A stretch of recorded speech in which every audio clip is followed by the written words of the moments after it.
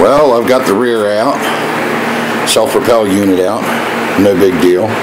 Six screws on either side and the whole assembly comes out with uh, height adjusters. There's my pile of parts. It goes back on it. And there's the wheels that I gotta check out. So I just pressure washed the deck. I'll bring that to you in a moment.